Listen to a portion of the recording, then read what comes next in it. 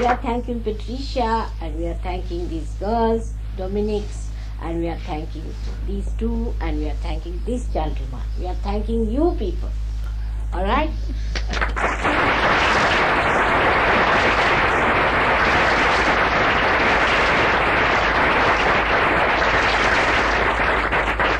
and also Natalie, who is not here.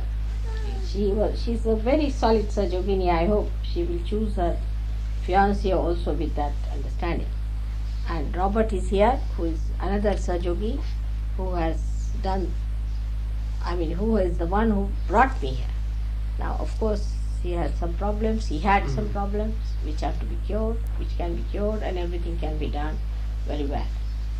All of you have to work hard because if you people have problems, other people won't accept. So try to be aware of yourself, that's all.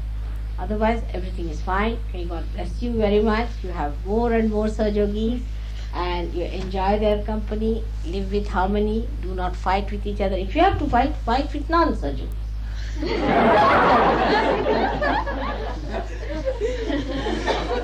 बोलो जगन्नाथ श्री महादेवी की